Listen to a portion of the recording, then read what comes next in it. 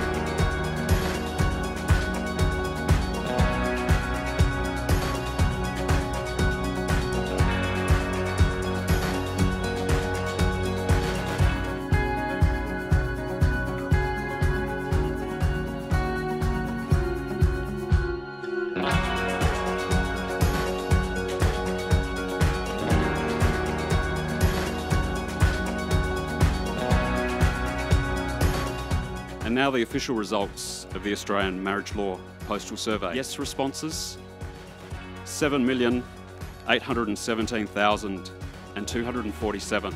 No responses 4,873,987.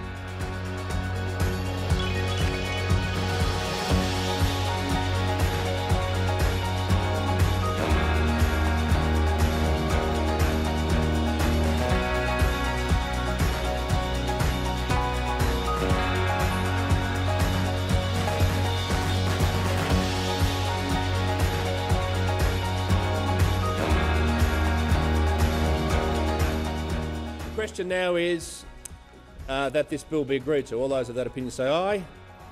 To the contrary, no. I think the ayes have it. This bill has been agreed to.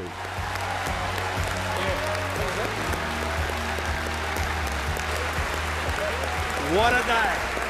What a day for love, for equality, for respect!